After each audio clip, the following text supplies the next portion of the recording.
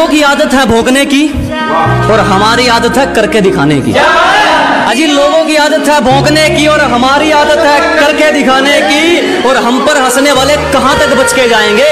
अब तो हमने फ्रेंचाइजी ले लिया लोगों को जलाने की।